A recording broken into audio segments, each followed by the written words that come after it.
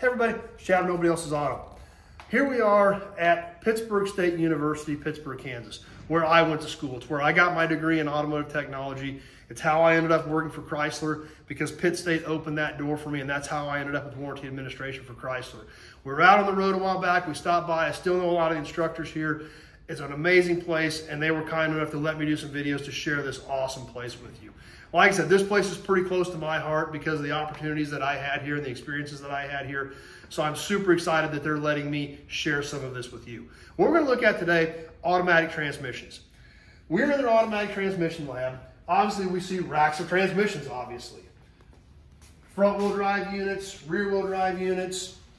Obviously, automatic transmissions in today's world, I mean, some of these things are 10 speeds anymore. It's very technical and there's a lot to it but that's what they do here. That's why this program is so great. It's so state of the art. They have so many ties in industry that they can get this new technology here to teach it to students. So when they come out of here, whether they go to become a technician or the dealership or whether they go the corporate route, they have an understanding of this stuff. They have these tables set up, these workbenches specifically designed for automatic transmissions, where they can take them apart, they can study them, they can look at them.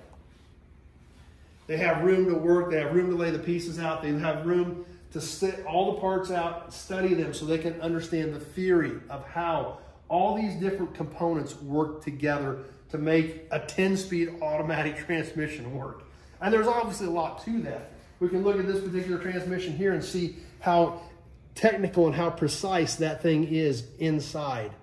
And there's a lot to these things to make these things function and work correctly. And that's why automatic transmissions have become such a hot topic lately. But here at Pittsburg State, they've got the capabilities of teaching these students the right way and the theory on how these things work and function. So we've got all these transmissions here. They take them apart, they study them, they understand how the different components work together. They put them back together, but you got to know if you did it right, correct? They've got something here that is so cool and so amazing that very, very few places in the country have it, but they've got it here. Check this thing out, transmission dyno. They literally can bring that automatic transmission over here, bolt it in, in place. It's got a big electric motor on it. They've got lines to hook up the hydraulics so they can put to run the transmission through it, fluid through it, make sure it pumps through it just like it should, functions correctly.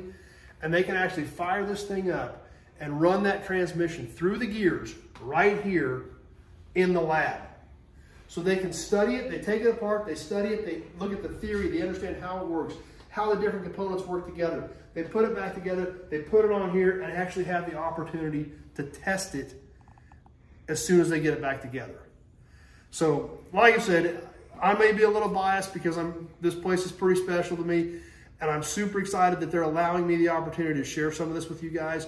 I really hope some of these videos we're doing, we've done a few, and we're going to hopefully do several more, are going to help show some, some people out there who like cars but may not be sure where to go, the opportunities at Pittsburg State University in Pittsburg, Kansas. So super excited about this, super glad they're letting me do them. I hope you guys enjoy the transmission video.